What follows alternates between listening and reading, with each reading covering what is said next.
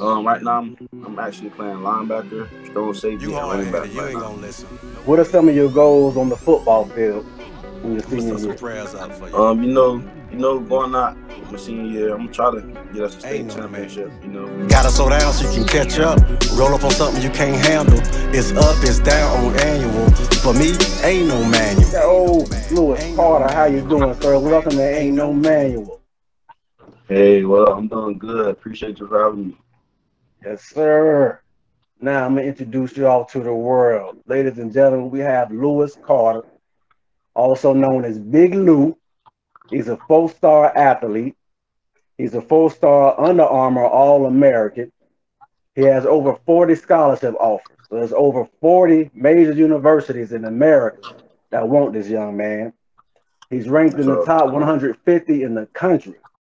Again, all the way from Sulphur Springs, Tampa, Florida. Welcome my boy Lewis Carter. Uh, appreciate it. Appreciate it. Lou, how does it feel to be an Under Armour All American, man? Um, you know, it feels great because it's something I've been working for throughout, like coming up through the little league and stuff like that. Ever since I started playing football, like when I entered high school, that was something I was really thinking about, and that was like a huge goal for me to really achieve and get invited to. Now, back in my day, because I'm from Florida, there wasn't any Under Armour All American or none of those games like that. The biggest award in the 80s and 90s, even the early 2000s, was the Florida Dairy Farmer Award, which is Mr. Florida. Yeah. But right Yeah. now, the Under Armour America game and the Adidas game and the Army game has pretty much taken over that. So you are amongst the elite in America. So congratulations on uh-huh. that. Yes, sir. I appreciate that. You said since youth league and, and you've been dreaming or your aspirations is to get in the Under Armour game. When did you start Yeah. playing football? I started playing at five. I started playing for the Jackson Heights Vikings. I started playing at five, and I never played flag. I just started off in pads. My dad put me in pads, and then get to really play flag like that. You started off rough then. Yes, sir. Yes, sir. I had to. Now, what position do you play now? Um, right now I'm, I'm actually playing linebacker, strong safety, and running back right now. Okay. Now, were you playing that when you first started out? Um, no, I started off playing like um, offensive guard, nose guard, and probably mostly O line. You play offensive guard and nose guard? What you was a fat I boy? played, I played. Yes. No, I was just I was just tall. You know, I was taller than everybody back then. Like when we was younger. Uh-huh. Like I mostly played offensive, offensive, tackle and offensive guard. Wow.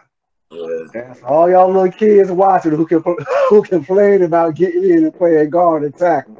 This man is an Under Armour All American, and he started off just like we try to get you guys started off, hands in the ground. So the dogs Yeah. come from. That's what, yeah, that's where the dogs come from.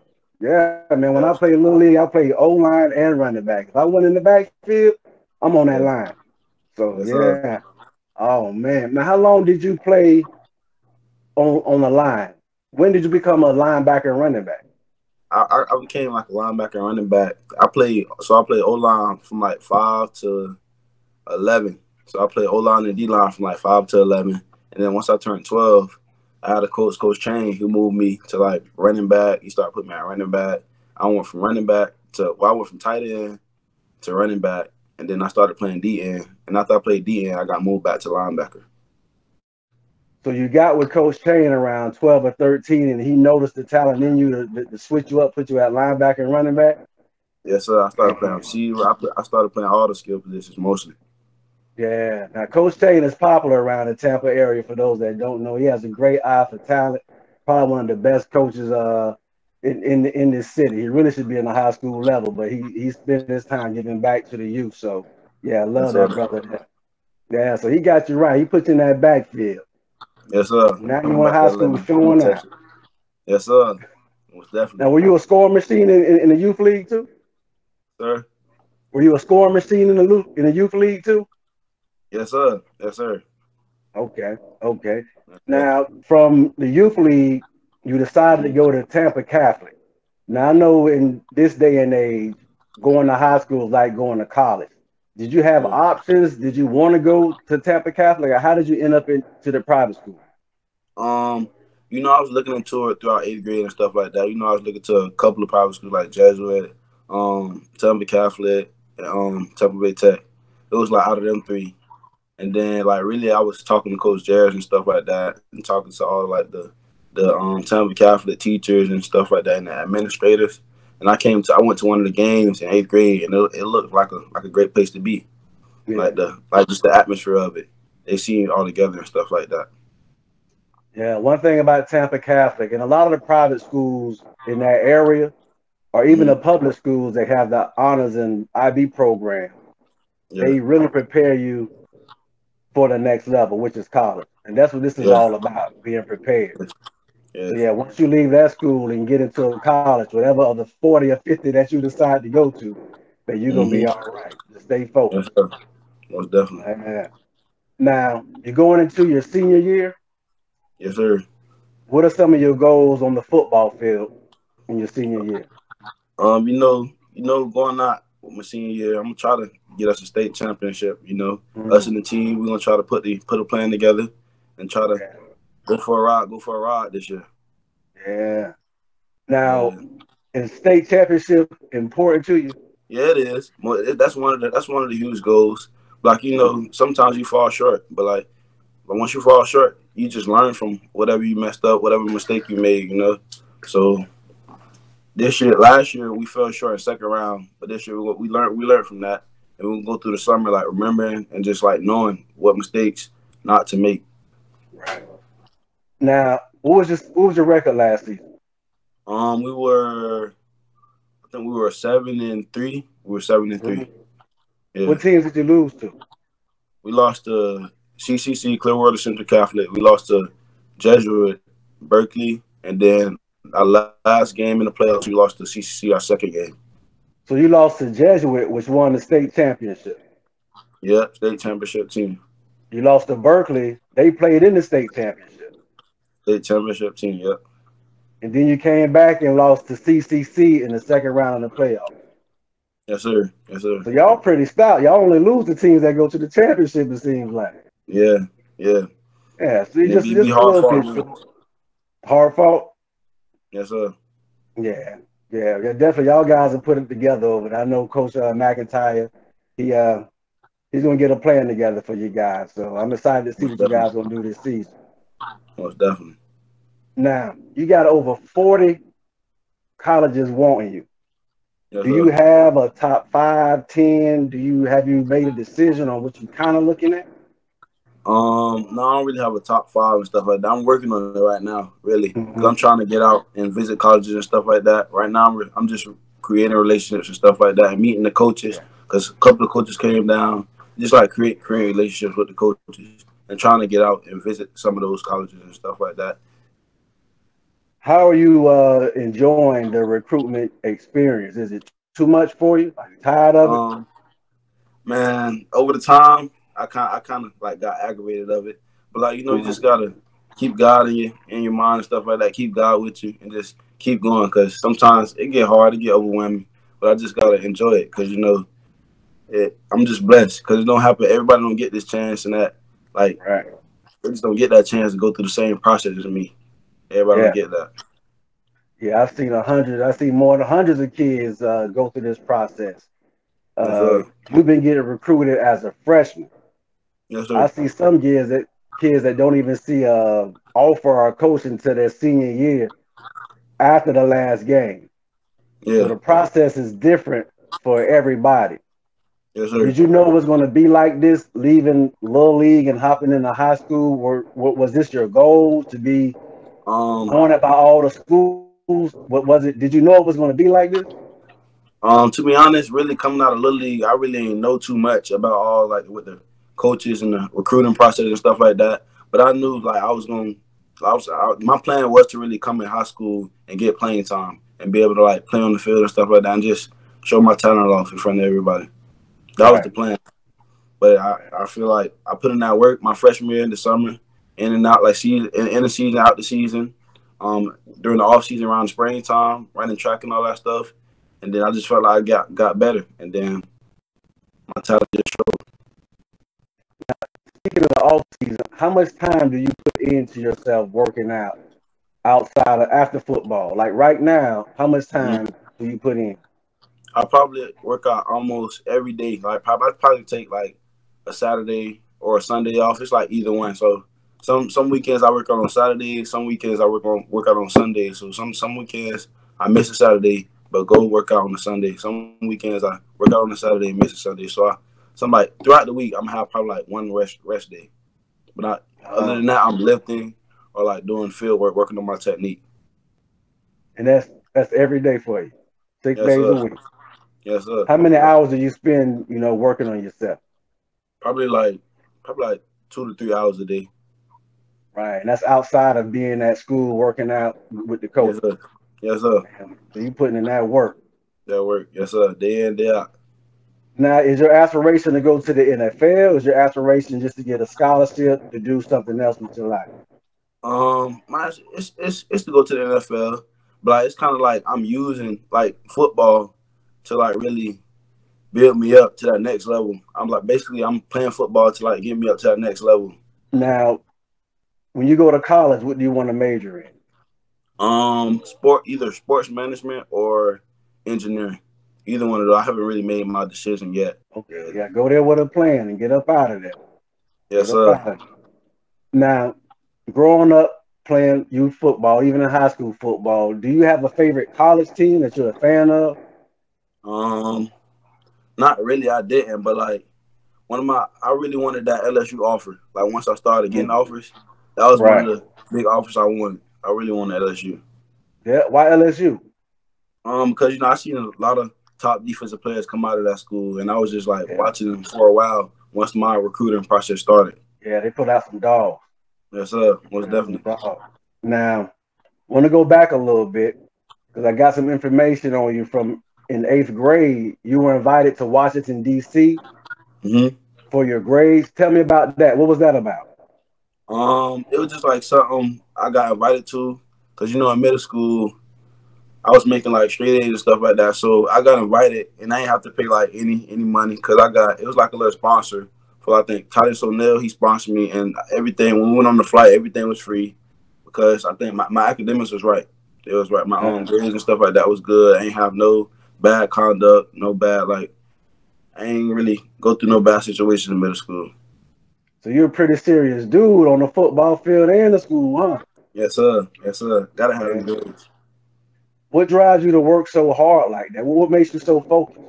Um, really, my parents, you know, they push me, my family, overall family, and you know my goals and stuff like that. I, I want to reach, but overall, my family, they push me, keep my head on straight, keep me focused, and it just keep me going when things get hard. Now, serious question. Being a, young black man in America in these days and times, especially in, in Tampa, it's a lot of violence going on lately. A lot of shootings, Yes, sir. killings, robberies, a lot of stuff going on with the youth. Like, what's going on? How do you stay away from that? Um, really, I just try to stay focused on what my main goal is, and like through that, I just try to keep everyone like around me minds right and correct. Keep keep them focused and motivated on what their goals are, because you know most of the people I hang around got the same goals, or like really trying to reach that next level, like college level, or just like make a change in the culture. Speaking of that, you know, you got some of the kids around you, some of the peers around you. Yes, sir. Some of them having getting shot, uh, maybe doing the shooting, or they they they going left. You know, sir. doing the things you don't need to be doing, especially Yes, as a young man. How do you feel when you see some of your peers go down or get locked up, or you know, get killed? You How know, does that affect you? Um, it affected me a lot because some of those people I grew up with and stuff like that. But you know, I feel like God got a plan for everybody. So if if he doing if somebody doing like the wrong thing or like they in the wrong place, I feel like they like it's something like everything they got a they got a reason to be there because they gonna they gonna learn from whatever mistake they m- mistake they made. So I feel like God got a plan for them. Now, Black Lives Matter. It's a big thing going on right now. I don't know why it's a thing. It shouldn't be a thing. You know, Yeah. we always matter. All lives do matter. I believe that. That's true. But that being said, the HBCUs hmm That's the new trend right now with Deion Yeah. Sanders being at Jackson State. You got uh, Hue Jackson going to Grambling State. Eddie George at Tennessee State. I believe Tyrone Wheatley has a school too. How many HBCUs have offered you? Because you got 40 big time scholarships. How many of those HBCUs? Um, actually, right now I don't have no HBCUs. You don't have any HBCU off? I don't have any. But hold on, hold on, hold on, hold on. You were the top 150, number one in Tampa, top 50 in Florida. We Yeah. got FAMU Bethune here. yeah, Dion from Florida. yeah. You don't have an offer from none of these HBCUs? None of the schools. I mean, I talked to fam a little bit, but they haven't offered. I don't have no HBCUs. See, that's see a lot of we we, we got to discuss that because a lot of people. I know my son when he chose a major D one school. A lot of people in my family Mhm. and around me was like, man, why he didn't go to a HBCU? You know, he's black. You know, why did he keep going to these big schools helping the other people? But Yeah, I tried to explain to people that the HBCUs really don't recruit. yeah, they don't. They don't. They don't. So they have to change the way they're recruiting. Like they have to have the confidence to come up to Lou and say, "Hey, Lou, you need to be out here. That's You would love Mm-hmm. it." Uh, No one has talked to you in the HBCU, huh? Nah, they they think they think they some of them think like we too big of a like big of a person, big of a player. We big time and stuff like that. Nah, they just don't want to come out and really believe in themselves to really trust in like a player that they really have interest in their college. So that explains a lot about the mentality that that, that needs to be changed. Because, like, you said, they have to believe and have confidence to know that these top four star, five star players will have a great time on this campus. Yeah, yes sir. Yeah, that needs to be fixed. I'm, I'm gonna reach out to a couple of people. Yes sir. Now, if I were to grant you one wish, a state championship in the state of Florida, or your Mhm. opportunity to go to any school for free that you want to go to, which one would you choose? I wish school would I choose. No, no. Which opportunity would you choose? Would you choose just a Oh. scholarship or a state championship? That's a hard question. Because the Um, reason I'm gonna give you a chance to think about it, the reason I ask about it, because I see in a lot of areas that kids jump schools in high school. Yeah, They tend to go to the school that's winning the most because they think that's the best way to get a scholarship. They think that winning the state championship, if I win this state championship, Bama gonna want me. Everybody gonna want me. Yeah. I try to explain to a lot of parents. So I talk to parents all the time about the recruiting process. Yes. That state championship is not that important. It's a goal for the team because you want to win every game. Yes sir. If your goal is to get a scholarship, it's all about just going to the right program. Yep. So I always ask parents that question: What's most important to you? Your child going to a scholarship? I mean, going to a school for free, or mm-hmm. a state high school football championship? Yeah. So, which one is most important to you? Really, yeah. What's most important to me is the scholarship. You know, It's a scholarship. most of the time that state championship, it'd be forgotten probably like one or two years later. Next year, Yes sir. next year, because we got to get another one. So Yes, sir. that It's one time for championship, it don't mean Yeah. that. Now, have you ever been to a HBCU campus? Have you ever been to FAMU Bethune? Um, no sir, I haven't. I haven't. Well, I've been to Bethune my eighth grade year for a little field trip. I went to Bethune my eighth grade year and, and saw the campus a little bit, the football field and stuff like that. Mhm. And You never been to the, the Florida Classic game or the homecoming in no FAMU? sir. No sir. Oh, I haven't. I haven't. I haven't been to none Boy. of that. Lou, this year Yeah.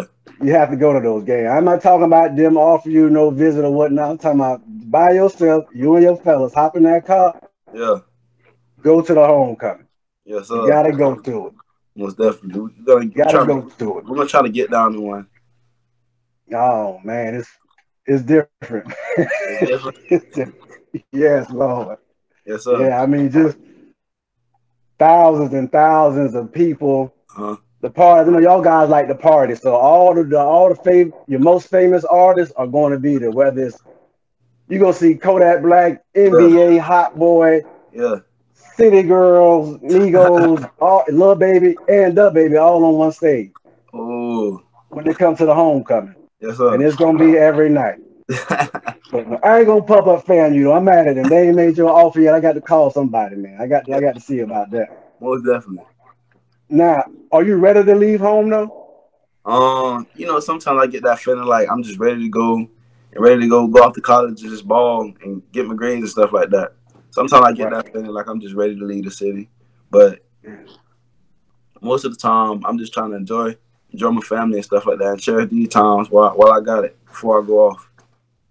Yeah, man. Cherish it, man. Your your your siblings, your cousins, everybody you got around you. Yes sir. Spend as much time as you can with them before you go. Because once you go, Yes sir. you're gone. That's You real. know, you come back for a little visit, a few weeks, but yeah, spend that time, man. Because life is short. So take advantage of that. Yes sir. Take advantage of that.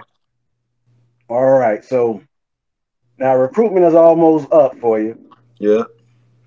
Are you taking any visits before your senior season of football? Yes, sir. I'm probably going. I'm probably trying to get out to like really. I'm gonna take a couple of officials probably to like Ohio State, um, Mm. Oklahoma, Oregon, Clemson. Um, where else? Probably I'm gonna try to probably go to Notre Notre Dame, um, Auburn, and a couple of and a couple more. Ooh, wee. Yes, you got some options. yes, sir. Most definitely. Now, I see your stats here. You had 50 solo tackles. Yeah. That's just by yourself. Yes, sir. Man, that's nasty. 30 receiving yards. You're not even a receiver. You're a running back. So sometimes you got in that receiver. Yes, sir. I got in that receiver. You know, I got in that receiver and then ran a couple routes out the backfield. You had uh, just over 400 rushing yards this year. Yes, sir. How many touchdowns did you have? Um, I had six touchdowns this year. I had six running Man. touchdowns on offense. And when you go to college, do you want to do the same thing, play both ways, or did you want to? What, what is your goal for college as far as your Um, you know, probably, I, I've been thinking about it a little bit because some coaches have been like saying I can play anywhere. Like it was one coach, he said you can come to my school and play both sides, but I really haven't. A coach really haven't been been telling me stuff like that before. Once that Mhm. coach told me that, that's when I really got the mind for like playing both ways in college. Do you think that you would want to play both ways in college? I mean, that's a lot, man. You dealing with some everybody like you or bigger. Yes, sir. So you ain't Um, never been hit by you. Yeah, yeah, that's true. That's real. That's real. You know what I'm saying? So you Yeah. talking about getting in the backfield and having 11 lose coming at you. Yeah, that's crazy. That is crazy, but That's different, man. it is different. Yeah, and I done been in one of your games. I done seen you hit somebody. Like it, it's supernatural. You just zoom in like Yes, sir. a little maniac, man. Yes, sir. You want to go through that at the college level? I gotta think about that one. I gotta think about that. What they gonna try to tear you up? You the man too? That's real. That's real. Yeah. Yeah, so you got an option to play in college running back or a linebacker or both. Yes, sir. And well, that, that's something to think about. But you definitely want to think about what you can do best and what's going to get you there. I mean, you can do both Mhm. at the same level. Yes, sir. So from now, from here on, it's a business decision for you. Yes, sir. Yeah, but you'll make the right decision, man. I'm pretty sure. Yes, most definitely. Now, do you have any advice to give to the up and coming youth players right now? 'Cause I know it's a lot of young little league Jaguars and Hurricanes and Packers. They looking up to you. They watching your every move, trying to follow what you do. Yeah. Do you have any advice to give them? Um, if I I got just just don't just work and don't chase offers. You know, just try to be be the best you you can be. Don't try to base yourself off what's what the next person doing. Just be you. Be your best person. Be your be your best person in the classroom, on the field, in the community, and the first your your first impression mean a lot to somebody. So how you when you first meet somebody, you gotta try to you gotta be the best person you are you are, and don't don't on the field don't chase offers. Because if you work it, if you're doing the right thing, all that stuff gonna come. It's gonna come to you. It's, uh, it's gonna all fall in place. Man, there's so many kids. All they talk about is offers, offers every day. Some kids don't even play on the field. they want to know about offers. I don't get that, but yeah, that's some great advice, man. Work on being the best you can. I always told my told my boys, man, it ain't just be the best on your team, then be Yes, the sir. leader on your team, then be the best in the city, and yeah. everything else will come to you. That's uh, that's real. Man, that's awesome. So, besides football, what else? What are your other plans your senior year? It's your last year. Um, You got any other plans, any other goals? really, I'm just trying to. I'll probably like get in a couple groups and stuff like that my senior year, like um class groups, like after school, more after school activities and stuff like that with the school. Um, and that's really it. I'm trying to. I'm, I'm gonna probably get in a couple of after school activities, hmm but really, I'm trying to get the people around me better and put them in a like in better shoes to succeed and stuff like that. I'm trying to help the people around me now. Love that. Love that. Yeah. Now, you should be a pretty popular guy at your school. You running for homecoming king? Uh, Yes, sir. Got Yes, sir. Home King, Yes, sir. Most definitely this year. Most okay. definitely. Yeah. Yeah.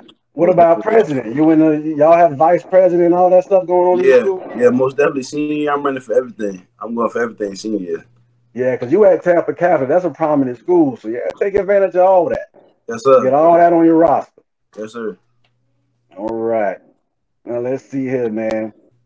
TikTok, Snapchat, Instagram, Twitter, Facebook. What are you on the most? YouTube. What do you spend your time doing? Because I know every time I see y'all guys, Yes, head on the phone, head on the phone. So Yeah.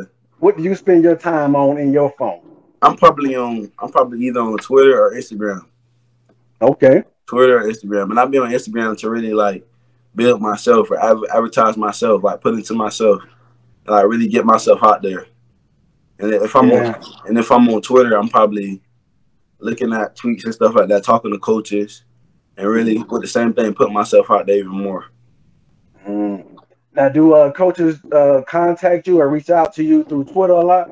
Um, yes, sir, they do almost every day, every day. Oh man. Yeah, So you on your phone handling business, man. Your phone is sir. your little trap, basically. yes, sir, That's I'm- your business. yes, sir, every day, every day I'm on it.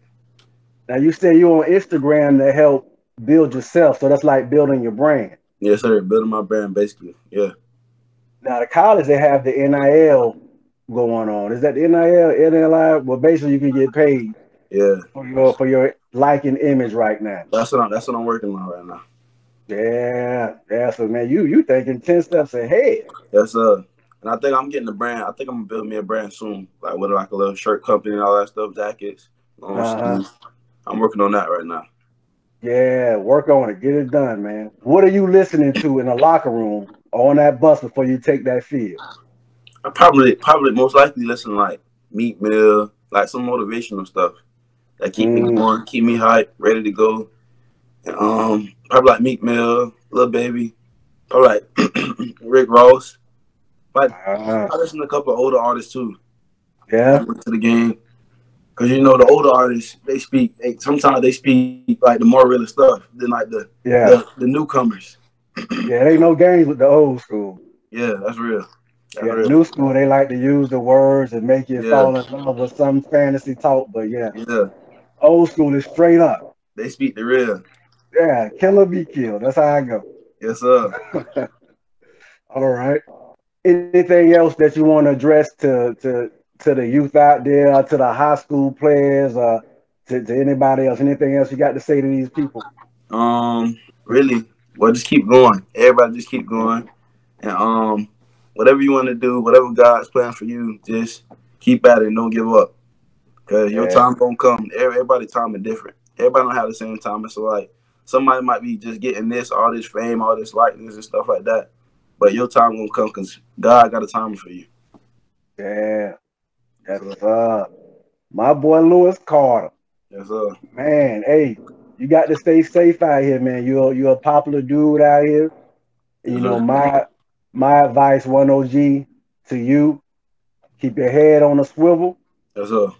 Keep everybody out your business but your loved ones, man. And again, man, spend as much time as you can with your family, man. They doing a great job.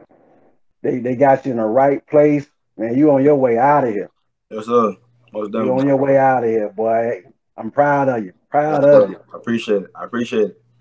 And I'm looking forward to see what you guys gonna do, man. Y'all, man, we y'all gonna beat Jesuit, man. What's up? Hey, we're gonna we're gonna we're gonna bring it home this year. We gotta bring it home. Hey, but Jesuit is good though. Yeah, they, they every year they got a solid team. They Every solid. year, people don't realize that they they just good. Yes, and they consistent. They playing throughout the whole game. Throughout the Yeah. whole game, they going 100. Man, what about Berkeley? Got something for them boys this year? Berkeley, yeah, we coming. We coming for them too. We coming Yeah. for them too, cause they they losing a lot of big seniors this year. So Mhm. we looking to like really replace a couple players, and we looking to go handle business over there. Yeah. Yes, So you the senior, you you the leader of the whole squad this year. I mean, this this Most your squad. Most definitely, I'm leading. I'm leading the whole way. Leading the whole Yeah. way. A lot of times, man, when I let's take the Buccaneers for instance. Uh huh. When we had Jameis Winston and we had a couple of other defensive guys, Uh huh. I don't think the Buccaneers had the leadership Yeah. in the locker room they needed. Yeah. They had the same talent that Tom Brady is working with right now, or before he retired. yes, sir. But leadership is the whole key. Tom Brady came in the locker room and cut all the play play out Yeah.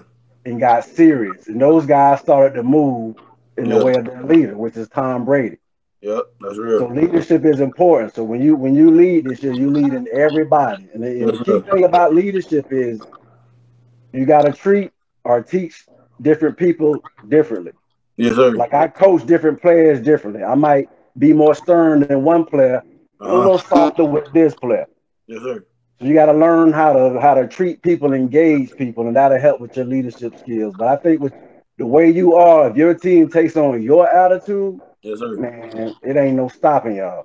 That's real. That's real. No stopping y'all. So man, go in there and just take over, buddy. Yes, sir. Most definitely. Most definitely. All right, my boy. Well, hey, this is it, man. I'm glad you gave me some time out your busy day. I know Nick Saban or somebody trying to call you right now to lock you in, boy. Yes, sir. You already know. You already know. Hey, Blim Blam, man, that's ain't no manual. Hey, I'm gonna pull up on you later to take some promo pictures later today. Okay. You hard headed. It'll be a wrap. Uh, I appreciate you. I appreciate you for having me. Hey, appreciate you, Bo. I'm gonna holler at you later, Big Luke. Thank you. It's. All right. Hey, ain't no manual. We out. Gotta slow down so you can catch up. Roll up on something you can't handle. It's up, it's down on annual. For me, ain't no manual. Ain't no manual. Ain't no manual.